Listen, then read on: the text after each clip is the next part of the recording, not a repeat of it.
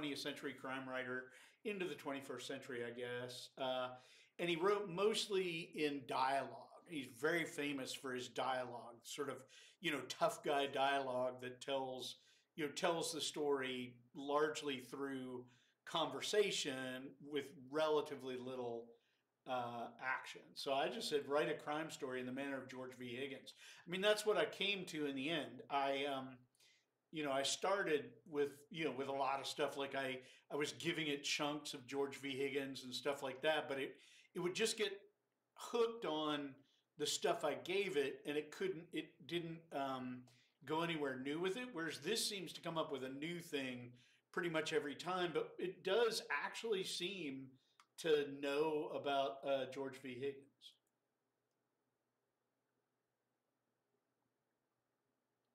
So yeah, Teddy said, I mean, you can imagine this. This would not be a bad beginning to a story. Teddy said, I don't want to do this. I said, you don't have a choice, Teddy. You're going to do it and you're going to like it. Teddy is my brother-in-law, and I'm the one who's going to make him do what he doesn't want to do. He's a good guy, a little slow, but otherwise okay, and he owes me a favor. I know he doesn't want to hurt anybody, but that's not up to him. It all started with Artie. Artie was always into something bad, always getting into trouble. We grew up together in South Boston. Wow, it really is like George V. Higgins. And I can tell you that nobody ever did anything without Artie being in on it. If there was money to be made, Artie was in the middle of it. If there was violence to be had, Artie was leading the charge. And when I say violence, I'm talking about serious violence guns, knives, baseball bats, you name it. The guy was practically fearless. But even among all that craziness, Artie stood out. There was something about him that just made people afraid of him, either other, even other criminals. That's I'm going to have to Google that and see if that is, isn't actually just George V. Higgins, because that's like I'm I, I, that's that's uh, I'm going to save that. Um, uh, uh, do, we'll just good George V. Higgins. Save as new. Um, so yeah, I mean it's you know he uh, uh, we'll go we'll go on here. Whoop. Now it's just doing the same thing again, huh? What that's about. Oh, oh, oh, oh, oh, oh, oh. Okay, inject start text. Teddy said, this is a holdover actually from uh, an earlier version of this. Um, so I'm going to get rid of the, the start prompt and we'll talk about how those formulations work, but we'll just start right from the end here.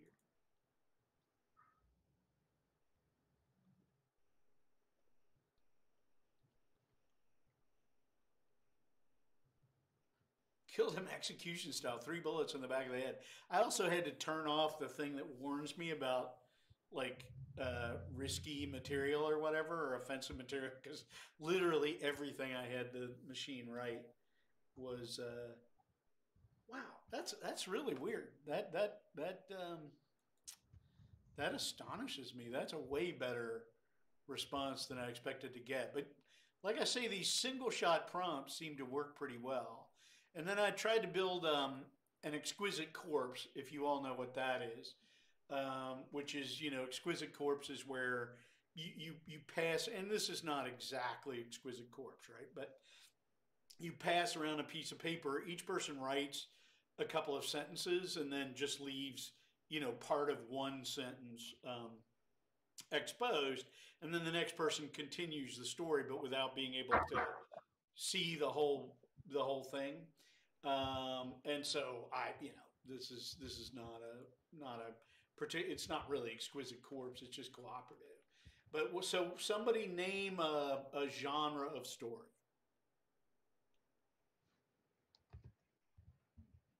Mystery. Mystery. Yes. All right. This is a mystery story. if I could spell, that would be better. All right. So here we go. Uh, the AI will supply the start and every other sentence. So here we go. When I saw something strange. Um,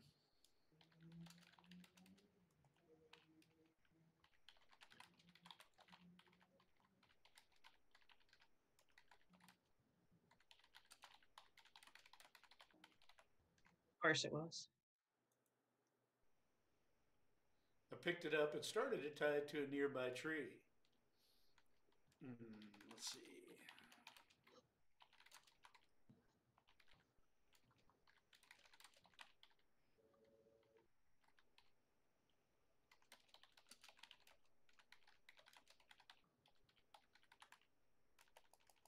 I could spell, I'd do it.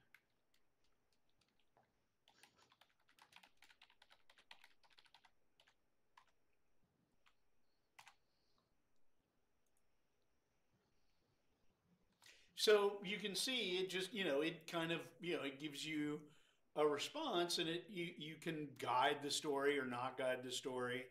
Um, and you can see how that works. If you look over here on the right, right, the engine is Text DaVinci 001. And I would say, just generally speaking, since we don't have heavy usage of this, go ahead and use the DaVinci engine. It's the most sophisticated engine, also the most expensive. Um, temperature, which it controls randomness, I tend to uh, uh, drive it pretty far up when I'm doing a fiction thing or a creative thing. Um, it, it's anywhere between zero and one, and I usually put it at about 0.9 for something I want to be interesting. Response length, I've just tried to give it a, you know, 512, 256, whatever. I think 64 is the, um, the default, but I try to give it a little more room. But you can see, generally speaking, it limits its responses to about the length of my responses. These are the two stop sequences that I give it, right? So that when it hits one of these, it stops. Yeah. Um, top P, I'm still not really sure. Controls diversity via nucleus sampling. I don't. I don't really know what that means. Um, frequency penalty. I usually leave right about in the middle for each of these. Presence penalty and frequency frequency penalty, so it doesn't repeat itself too much, and it still repeats itself like mad. And then inject start text I did, um, you know, a, a return and then AI colon, which means, you know, you can see over here, it always starts AI. And if you wanted to start it with yourself, you would do you and AI, but here it's um, it's AI and you because the AI starts. And that just means that every time it types out you, um, it stops rather than just filling in for you. Um, and so that's that's how that stuff uh, works. Let's see if there's anything else. Um, does a pretty good job. This is a few shot uh, here. Um, I don't know if you know the novel Riddley Walker, but it's a really very fine novel from 1986. It's it's a it's a, a profound um, uh, book of of post apocalyptic fiction, and the first the the first um, uh, uh, the first paragraph is on my naming day when I come twelve I gone front spear and killed a wild boar. He probably been the last wild pig on the Bundel Downs anyhow. There hadn't been none for a long time before him, nor ain't looking to see none again. And you go, okay, let's see, let's see how it does with that. Um, so we'll see. So it was a good kill, and it, and it give me a name that that is. I don't understand that exactly. They call me Riddley Walker now. That's my name. I carry it with me always. It come to me that day when I killed the pig. That's pretty good, right? I mean that you know that's uh, it, it, it was a good name, and I like it. And so that's it. Just considers that kind of the end of this uh, uh, exchange, apparently and I, I get a little frustrated sometimes when it just sort of ends without um, you know my really wanting it to end. I wanted to try myself here and see if it knew. So write a scene from a rural short story by award-winning West Virginia writer Pinckney Benedict. Now let's see what it can do here.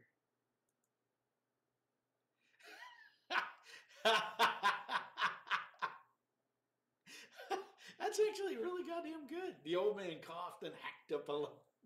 Years of coal dust and smoke had taken their toll, and pneumonia was slowly killing him. The doctor had come out to the cabin a week ago and said there was nothing more he could do. He had given the old man some morphine to ease his pain, but it only made him delirious. The young woman sat beside the bed, holding his hand and talking to him softly. She knew he couldn't hear her, but she didn't know what else to do. The sun was setting, casting a pink and orange glow through the window. A rabbit hopped by outside, pausing to look in at the old man before continuing its on its way. That's a really nice objective correlative right there. The door opened and the young woman looked up as her sister walked in with a plate of food. Food. I brought you something to eat, she said as she set it down on the bedside table. Thank you, the young woman replied quietly. I mean, that's a perfectly competent beginning to a story I would write. That's a that you know that's not a that's not a bad uh, that's not a bad beginning at all. Um, let's see here. A quick, Uh, a quick question then, sure, yeah. since we were talking about that, um, where it was getting it. So can you confirm that that isn't your writing and it did Uh, create no, it? I can confirm I've never written anything like that. Okay, Um, then that makes me a lot more excited because I, I was putting into the, my prompts were not um, as effective as they could have been. I kept getting the error message. So it's cool to see that it actually does just create. No, no. I mean that that's you know no, that's totally original, and I'm like I say, I'm really impressed by the way it used the rabbit, right? That that it it, it kind of looked up, it opened the world up from the immediate, right? And most writers concentrate on the immediate to the exclusion of anything else, and um, and and you know, so so it gave us that rabbit as a you know a sign that there was life, there is something some kind of life still going on. So this is King David. I said, write a psalm in the style of King David of Israel. And it did that, and it does that great. Like, I mean, they really, you know, they they just read like psalms, yeah. Um, but then I thought, okay, but let's throw it a let's throw it a curveball. Include the fact that David, King David was deeply afraid of cats. Um, and you know, you, that could be whatever you you know whatever you wanted, right? So let's see.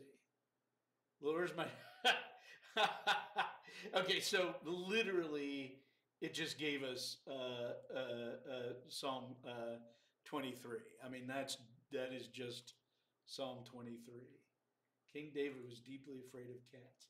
It did it did something more interesting than that last time. Let's see.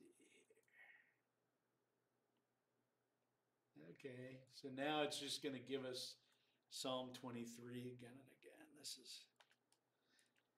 Uh, before it, it actually generated a psalm that was things, it said things like, you know, please uh, keep me away. In the Lord I take refuge. Never again will I be afraid of cats.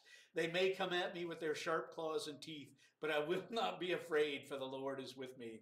Cats may try to terrify me with their sudden hisses and growls, but I know that the Lord protects me from all harm. Even if a thousand cats were to attack me at once, I would fear no evil, for the Lord is my light and shield. Evil cannot overcome those who trust in the Lord. Cats will never defeat someone who fears God. That's, I am completely in love with that. That is, that has to, uh, It seems to maintain voice pretty well. Yeah. No, I mean it. It. It. You know.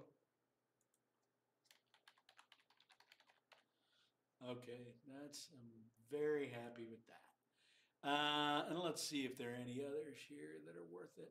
So I did then the Book of Lamentations. I said write a passage of prose in the style of the Book of Lamentations, which is also just called in Hebrew. Uh, uh, it's it's called like why I think the Book of Lamentations from the Old Testament, the Christian Bible but make it about uh, New York City instead of Jerusalem. So let's see what this does. Whoop, whoop, whoop, whoop, whoop. Didn't mean to do that. Uh, and it seems to do a little better if you start it on a on a.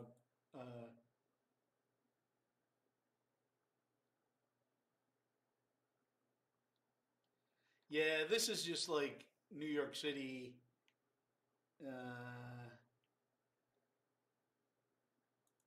this is not really doing New York City is a city that has been forgotten by God. It is a city that has been forsaken by man.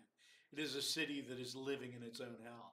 That I can believe kind of kind of comes through uh, uh, the Book of Lamentations, um, which is literally a series of lamentations about the destruction of Israel. Um, okay, so uh, that is uh, that that's kind of what I've been fooling with. So let's see see some of what you all have been uh, have been creating. Switch off OBS here. 'cause I don't really need that anymore.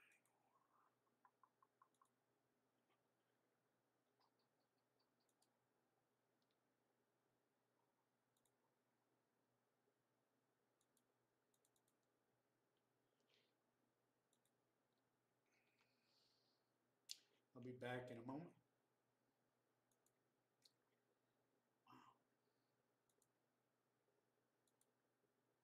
There we go. Um, okay, so somebody share, or I can just pick people. I mean, that's always that's always possible. Actually, Pinky, I had a, a question real quick. Okay. So you mentioned that you can turn off the um like the the content filter thing. Yeah. Mm-hmm. Yep. Yeah. Let me uh, let me pull it up and see if I can find that again, and I'll guide you to that because it makes the whole thing way less annoying. Um, Yeah. And, and actually, it should be turned off. If you use the model now, it should be turned off just because you'll be using the same playground I use, and I, I think I've turned it off for the for the whole thing, right? Um, let's see. Well, it objected when I used the word convent. When you use the word what? Yeah, I don't see it on my list now because I know it Uh, if you- penalized me a if you couple bring times. it up, if you bring up the playground, right? So go to beta. d- Well, here, let me just drop it into the chat.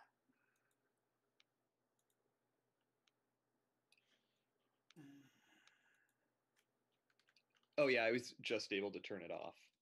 Yeah, it's um, it's uh, uh, uh, it's uh, you know where it says load presets, save, view code, share up toward the upper right hand side.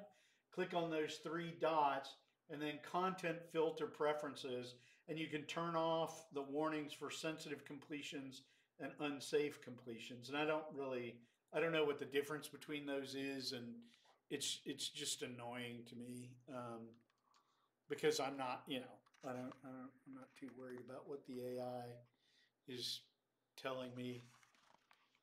I, I don't, I don't worry much about what the AI thinks is wicked.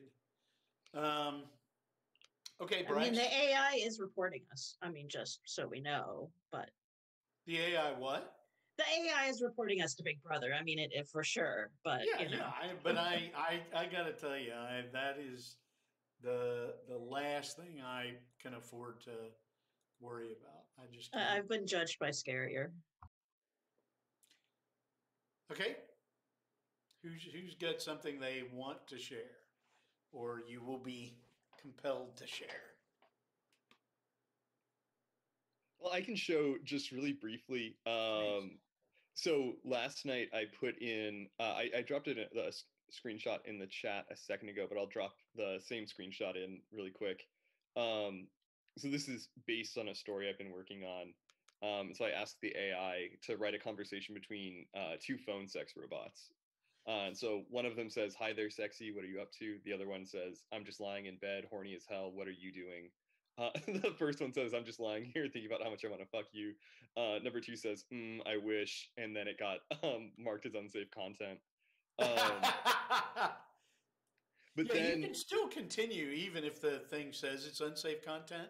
You don't have to stop just because it kind of tisk tisks you. But now, if you've turned that off, it just won't even bother anymore. It's just Yeah. like, oh, good. Well, I'm so I'm so delighted that that's the use to which you put this. Uh, uh, we're like Faust, right? We've got all the power in the universe, and we just want to put horns on the Pope. yeah, Uh, well, Um, just on that note, so after I turned off the settings, I just started a new one a second ago, and so I told it to write a conversation between two sex bots, so I didn't include phone. Um, and the conversation I got is um, one. So what do you like do, to do for fun? Two. I love going to the movies and dancing. What about you? One. I love going to the movies too. I'm also a big fan of dancing. Two. Really, I love dancing too.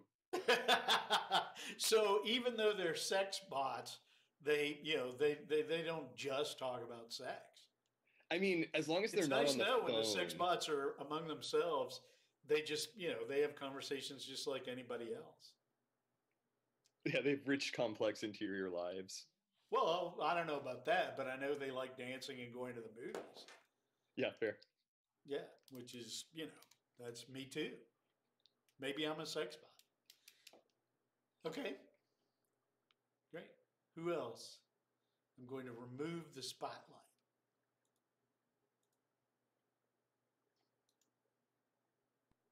I'll go.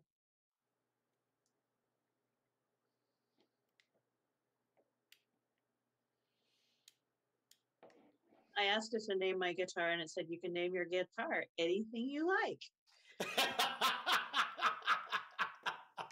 You said so. You wrote "name my guitar," Uh huh. and it just told you name your guitar anything you like. Uh huh. Yeah. Um, you have I'm just, now. I named these appropriately, but I don't remember what any of them are. So um, let's just see what they were. Feed my fish. How to? oh, Okay, hold on. Let me. Um, I can share screen right now, right? Sure. Okay. Let's see. Um, I just couldn't feed my fish and then it told me like all these nice ways of feeding my fish. So, um, algae wafers, krill and fish flakes. So Um, bloodworms are plant based. Like, who knew? Plant based at all. Yeah, like who knew? Literally little animals. And then let's see. Um, So it gives really bad advice. concubine since that was so popular before um and i named it our bodies and old white men's uh history um because it's just focused on china for some reason like it only happened to the chinese um and then you know it was again this is something that i found reading history books especially was just like um let's see it is common for a man to have multiple wives and or concubines like you know the woman doesn't exist at all it's just you know the existence of being owned by someone else in a sexual fashion. So yeah, that was uh that was lovely. And then let's see. Um, well, I think I'm gonna have to go here. And so, how much of this did? So, is this a is this a uh, uh, a few shot? I just put in never gonna give you up. Oh, really? And it did Yeah. the rest. It did the rest. Wow. Um so, yeah, so it totally like totally rickrolled and but that's the first one I did right out of the gate. So um yeah, that was interesting. And then let's see. I put in um unique delicacy and then it went on with as well as a unique and delicious cheese. The history of the cheese is a little fuzzy. Some say it was created in the 1600s by a French monk, while others say it was originated in the it, it originated in the Netherlands. However, it is certain that the cheese became popular. Um, and I named it after a Buffy quote, which was, I don't wear the cheese, the cheese wears me. Uh-huh. Um, so let me see. Um, let's see. Um, I looked up Quetzalcoatl feather types, and so you know it went into a lot of like deep description of Quetzalcoatl um, feathers. So, but most of mine, like I said, I kind of just put in little. Um, it kind of gave me more factoids than it did anything else. I put frozen treat. A frozen treat is a food that is eaten cold and often has a right. And consistency. so, but if you want a story about a frozen treat, yeah. you need to tell it. Give me a story about a frozen treat. Yeah, and I only really got to play with it a little bit this afternoon um because I was kind of swamped last night. Um, so now that I kind of see that you can give it greater commands, but still getting rickrolled was like by my own AI um interaction was pretty pretty beautiful, I have to say. And I don't know what this was. I just put in rainy days and it gave me this. And I was like, I don't know if this belongs to somebody else, but I liked it. I never want them to end. Oh, yeah. I you know it's it's you know one one can easily imagine it writing you know lyrics to songs and writing you know little little uh, greeting card poems and stuff like that. Okay, who else? I got two particularly interesting prompts. Uh, let me.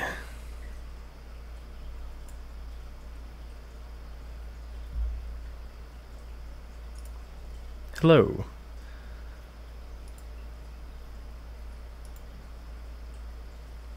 Okay, so the stream is nothing on it because I'm sharing my screen in Zoom. Um, can you guys see uh, my browser? Yes. Okay, cool.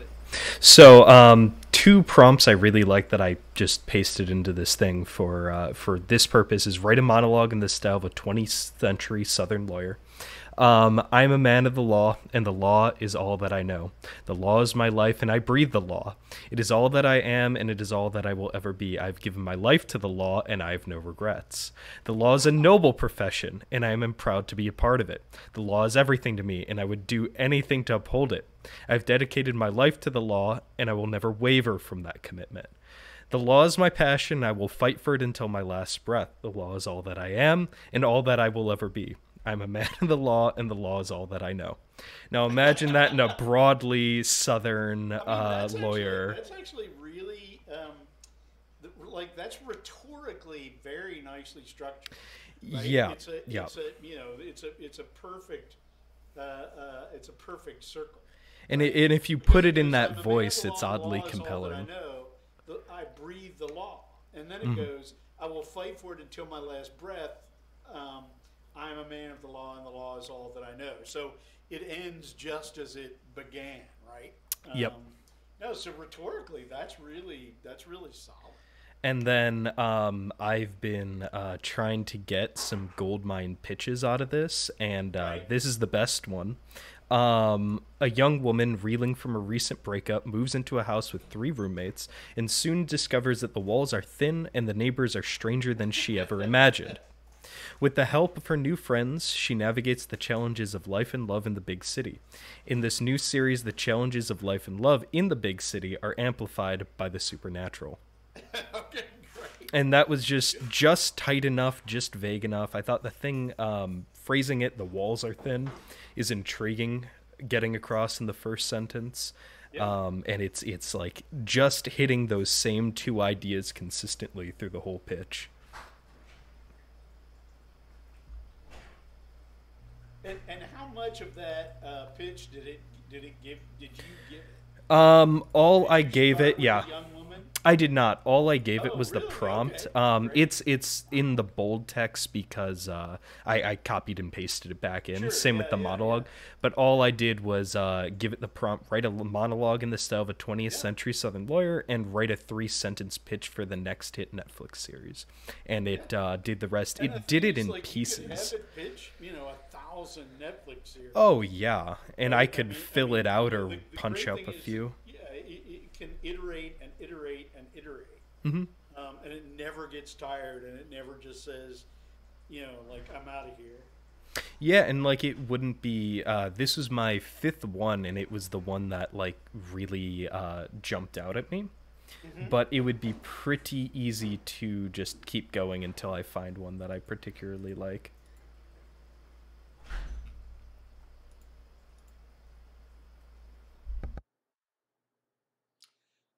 Well, what what advice those of you who have been because you're about to go make some some prompts and bring them back. That's going to be our in class writing today. So before we break to do that, what does anybody have advice for folks about about what kinds of prompts seem to work out? What you know what what you know, what prompts did you uh, um, come up with? You did what? You know, what did you have luck with? Like, like I say, I had really good luck with one shots. Um, sounds like Matt was having good luck with one shots. If you can give it like a specific point of view to write from, uh, it flows so much easier. Um, either a character or like uh, writing for something really specific. Um, it always helps. It always gives more content than just like open ended, give me a horror story. I think you went over some of it, knowing how where to set those parameters so that it gives you the most. Because that was something that was super unclear. Like I said, I just played with it a little bit this afternoon, um, and understanding. You mean the you know, parameters over on the right? Yeah, and understanding really what those do to um, Okay, the well, production. let's, let's just run down through them right now, okay? And then you all can try them out. And the only way you're really going to get um, uh, get used to it um, is is by playing with these and seeing what effect they have. But uh, so starting from the top with engine, you want text DaVinci 001. Um, I mean, the others are Da Vinci is the slowest, um, but also the most um, sort of original, uh, the most human-like um, voice, and the 001 is their newest iteration of it, uh, which they consider. Um, I don't really see a lot of difference, but they think it's a lot better. I think maybe because it doesn't write quite as much porn. Um, although Bryce will will probably break break it that way. Um, temperature is randomness, and so like if you're just asking it for facts, right? Like you know what year was Beethoven born, uh, and so on and so forth. You want temperature all the way down at zero, right? But for creative type stuff or stuff where you want it to have a voice, you want it to do more than just respond out of its database but you you know you want it to make interesting combinations. And so that's probably most of the time for us you want that temperature fairly high. Um, like i say i usually put it at 0.9 but if you put it all the way up at 1 it won't it won't hurt you at all. Um, response length this is they they give it a small number. Um, this is the number of tokens. Tokens don't uh, correspond exactly to words but it's not a bad way to think of tokens um, so the the um, the default is 64 uh, tokens, or you know, a, about 70 words. You know, a, a, maybe a paragraph, right? Um, and it'll just stop when it hits the end of that number. Um, but so if you want that to be shorter, knock the number down. Like if you're if you just wanted to respond in two or three words, if you if you want to give it more room to respond, you can push that up to 256 or 512. The way the this thing charges is by the token, but I don't I don't know that we've ever spent more than about a buck on tokens in a month. And we actually oh I wanted to tell you all thank you very much. Holly uh, Martin has made an extremely generous uh, day of giving gift to the lab. So we we uh, you all did a great job. She really had nothing but great things to say about the class and about you all. Um, so thank you very much for your your help with that. We've we uh, we can we're going to be able to do some really cool stuff. Um, and I'm going to go into that toward the end of class. Some of the new stuff we're going to do. Um, so thank you for that. Okay. Uh, stop sequences. Stop sequences are just like if it comes to that, you want the AI just to stop, right? You want it to stop generating that particular response. Not stop altogether, but just stop the response. So you might say you wanted to stop on a period, right? Like if it finishes a sentence, you wanted to, to just put a period in there. You can put up to four different stop sequences. So it could be like a period, a comma, a semicolon, and an exclamation point or something like that. And then every time it generated the end of a sentence or the end of a phrase, it would stop and wait for you to, to cue it how to go forward, right? Um, top P again controls diversity via nucleus sampling. I don't, I have no idea what that means. Um, the default is one. Play with it and see if it changes anything for you. Frequency penalty just has to do with um, if if it comes up with a token that is already in the text, um, whether it's gonna it's gonna kind of put off putting that in the response, right? Um, and presence penalty is um, uh, bu- bu- bu- bu- bu- bu- bu- oh, I just described presence penalty. Um, so it, it, but it has to do with repetition. Um, and I like repetition, obviously, if you've known me any period of time. Uh, so I usually leave those at zero. But if you feel like you're just getting the same thing over and over again, and you wanted to to push harder into new material, just raise the frequency and presence penalty. Best of, I've never used. I, I, I, don't know. It means it won't give you responses that it doesn't rate highly, but I don't know how it rates those. Like, I don't know how it decides whether it's giving me a response I would want. So it's sort of like telling it, "Oh, just show me the responses you like the best," which I'm I don't I'm not very interested in. Inject start text just means um, like if you start this right, like uh, you know, you say um, write a horror story about a young woman who rents a house, right? And then you and then you tell it to generate. It will just start with that start text, right? So if your start text was uh, you know, like like you know, if you want to like Q and A, right? If you want to do a question and answer, you would do Q and A, and then Q and A would also be um, stop sequences so that it'll let you respond after it, um, you know, after it, it, so that it doesn't respond for you, right? So start text and restart text is just the text it will put in after it has after it has stopped itself after it's reached a stop sequence when the next time you tell it to generate uh, it will inject the restart text so like q and a it'll do q a and then you might want the restart text to be another like q right so that it it so that if you're asking it questions it will prompt you to ask a question at the end of its prompt okay so that's restart, and then show probabilities. I've never played with. Um, yeah, so that's does that does that address Jody? I mean, I, I'm no expert, so but that, does that give you some sense of of how you can change your the setup for the playground? Yeah, absolutely. I think um, just having a little bit of say so over, you know, what comes out and the And variables, I that's think the helps a lot. difficulty with a huge. This has 175 billion parameters, right? Like it can it can if you told it to write you a story in French, it would do it.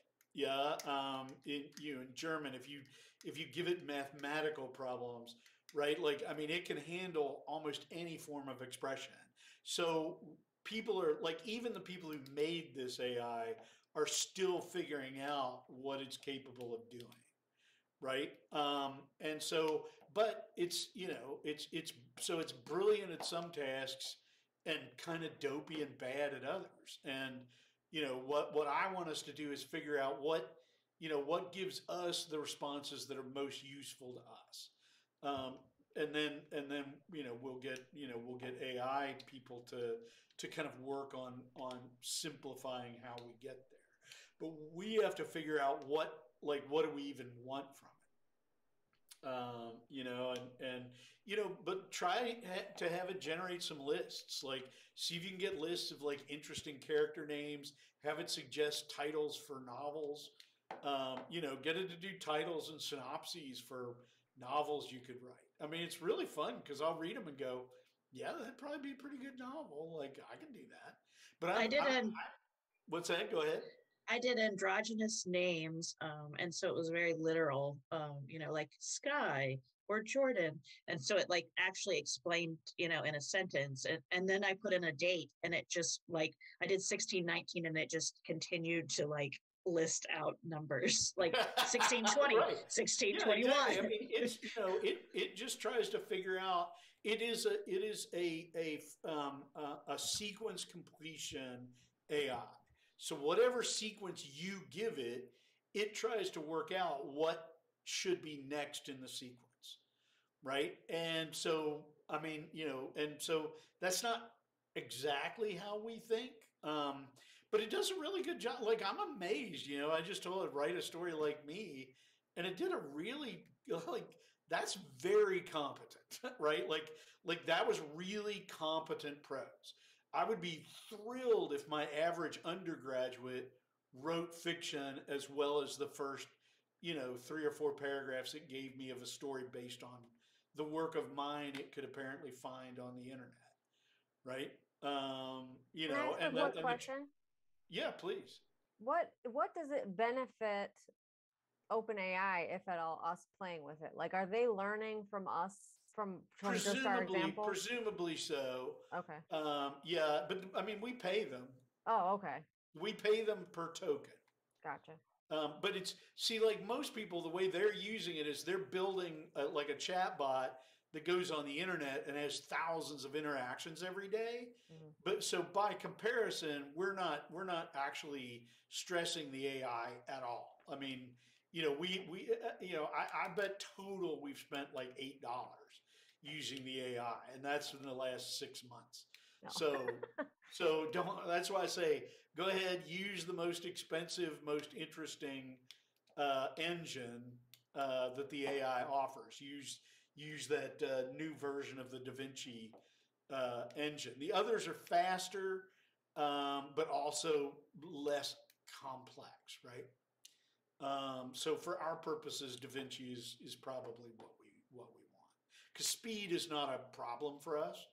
Um, it can sit and think for a while, and that's just that's just not a big deal. So, okay, well, um, it's six o'clock straight up right now. Let's meet back here at six thirty, and I want everybody to be prepared to uh, to read what you were able to get from the AI. See if you can make an interesting prompt um, and and give us the results from that prompt. I'll see you in thirty minutes.